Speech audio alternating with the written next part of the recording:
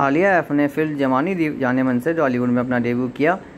Film को दर्शकों और समीक्षकों से मिला जुला रिस्पॉन्स मिला, लेकिन आलिया एफ़ को काफ़ी लोगों ने पसंद किया। अदाकारा के तौर पर आलिया एफ़ को दिखा जा रहा है और फ़िल्मों के अलावा उन्हें कई एड शूट भी करते हुए देखा जा चुका है।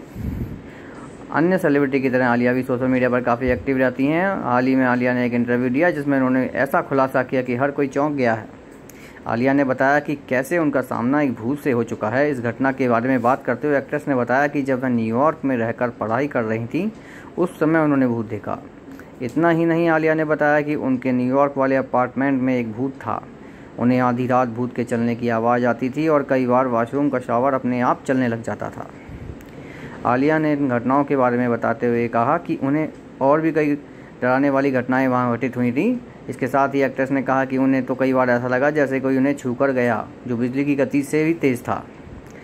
इन घटनाओं के बाद वह कभी भी अपने घर वापस नहीं जाना चाहती थीं। इसके साथ ही आलिया ने वर्कफ्रंट पर बात करते हुए ये भी कहा कि कोविड की वजह से उनके हाथ से दो फ़िल्में चली गई हैं। फ़िलहाल वह